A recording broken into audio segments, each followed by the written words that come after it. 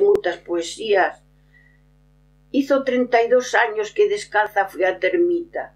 Hoy también quisiera ir, pero no puedo, bonita. No porque sea mayor, pero las piernas me fallan. Pero yo te quiero tanto, madrecita de mi alma. Mi madre se llamaba Santa. Ay, qué nombre tan bonito. Quisiera haberla conocido y también a mi hermanito. En la puerta de tu ermita tenía que haber un letrero de lo mucho que te amo y lo mucho que te quiero. Pensando en ti yo me duermo, pensando en ti desperté. Por eso vengo a tus plantas para que me puedas ver. Una cosa te he pedido, tú ya lo sabes, pastora. Llévame por buen camino y nos protejas a todas. Yo te llevo en mi cartera, también en mi corazón y yo te pido, pastora, que nos des tu bendición. Esas son poesías que las digo y todos os anos a Divina Pastora. E contales como era cuando vivimos de mozas a pastora. Cuando íbamos de mozas a pastora, vivan as sogras a, a iderti que tiñas que ir con un novio a Divina Pastora. Si non, non divas con un novio montá, eh? Tiña unha caballería. E despois te diva aí de la sogra, mira que este ano tenen que dilas a, os dagais a, a Divina Pastora ya montaos con unha caballería e agarróle, dixe, bueno, pues, ya tiñamos que dir, tiñamos que dir. E fomos á pastora. E dindo á pastora, pues, tiñas que preparar unha cesta con unha merenda para dila en caballería. Mai, te levaban a caballería con un, con un cobertor ali na, na albarda de la, da caballería con unha bobara para pegali. Pero cando chegábamos alá, pois pues, tiñas que levar as merendas, porque despois na divina pastora Hai moltes cases, però ali ja estan tots esbarrigats, ja, no, ja s'han caigut ni tenen tellat, ni tenen nada. Y entonces ya cuando acababa de ir del misa, pues íbamos a buscar las estas que teníamos en aquella casa y nos puñamos en aquel cancho que estaba en Almita, estaba y está, y allí nos puñamos a comer la merenda y si no nos viñamos a comer, pero siempre se comía palina divina pastora. Pues ya nos viñamos para casa e ya chegábamos a casa, te quitaban, te baixabas da caballería e te divas despois o bailo. Pero cando íbamos a Dituna, como ya a sogra ya te había dito que tiñas que dir montar na caballería, pois despois iban a buscar folla de ramallo pa as camas das caballerías e das vacas, e dixeran, pois mira, mos díbamos a apañar, que pois había unhas cuadrillas moi grandes, e divamos a apañar con a cesta non baixo o brazo, e á tarde te vou a buscar montar, e nos esperando a que nos acabaran de ir la pa casa, e chegábamos, ya nos estaban esperando en tal sitio, e ali montaban máis, nos máis alegres que viñamos montar nas caballerías, pero mentres que non te dixera a sobra, non te non podías ir montar con eles, eh? hasta que a sogra non te diva e del que tiñas que ir montar. Entonces ya divas, despois ya era divas a cualquier sitio ou divas ao río, cando divas ao río, te digan a tarde te va a buscar a calga. Que leves o río a lavar? O río a lavar a roipa. Como? E levabas o barriño á cabeza e unha banca en baixo o brazo. E despois chegabas ao río, se non tiñas laveiro, tiñas que puñer un laveiro de pedra. E había, había veces que te tiñas que meter as más así de agua fría. Un mellor íbamos para un arroyo que tiña agua templá e íbamos a lavar.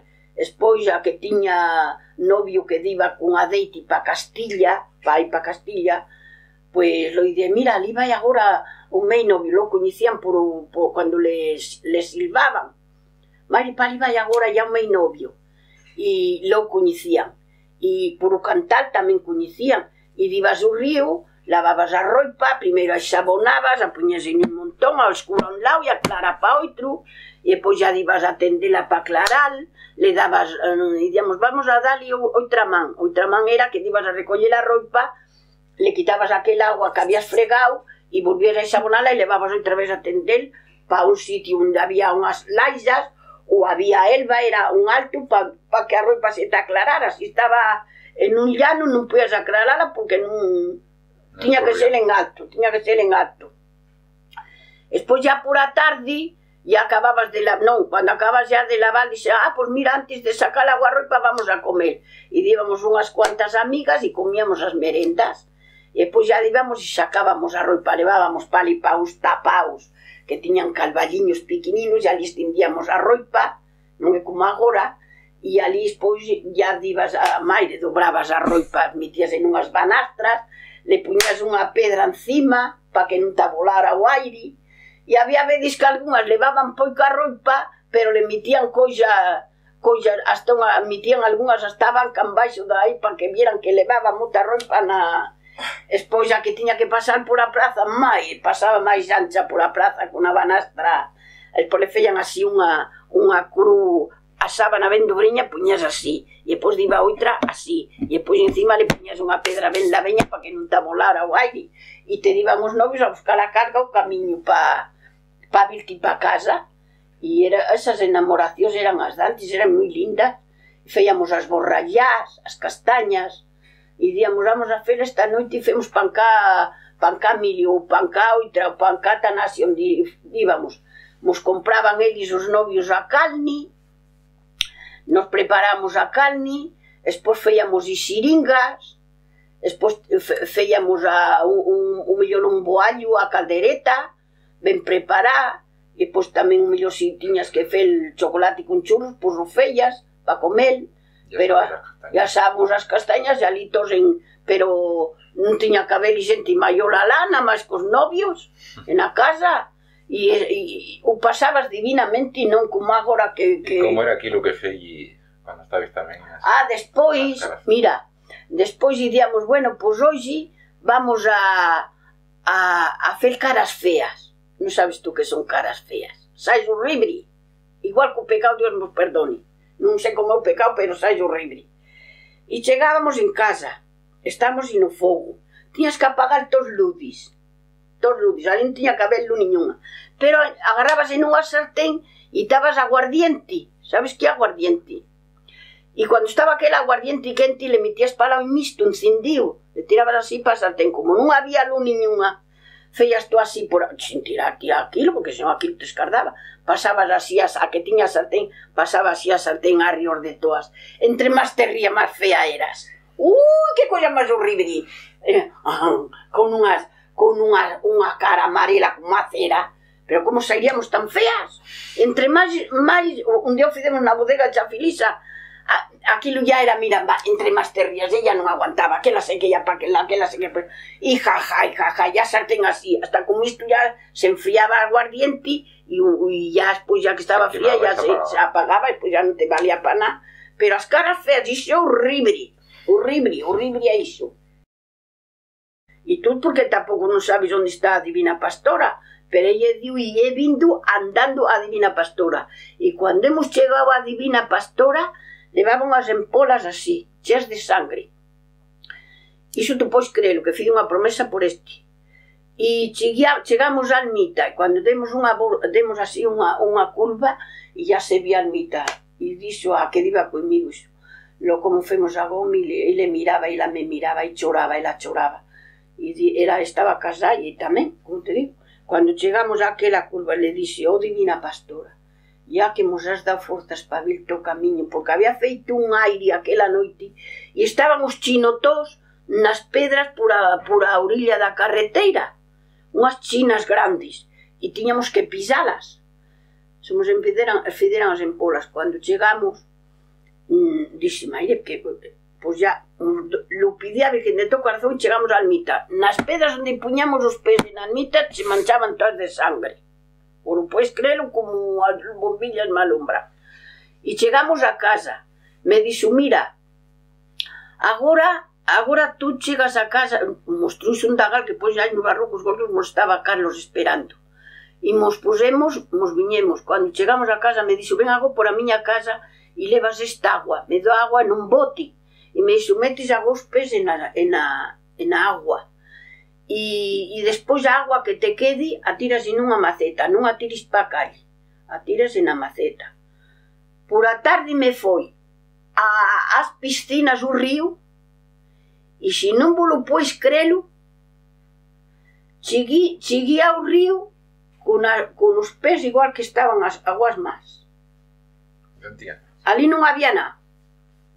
As empolas mas tuveran que picar con unha agulla, filisa pero metí os pés aquel agua e, e, e he chegado ao río e dixo, Mailo, los esta maña han dito que has de día divina pastora e con empolas, chas de sangre. As veis aquí os pés, le levante os pés, dixo, é imposible, pois é imposible. E outra vez fiz outro, outra promesa. Dixo, teño que levar os patucos de lana e teño que ir con os patucos a almita. E esa virgen a quero como se fora a miña mãe.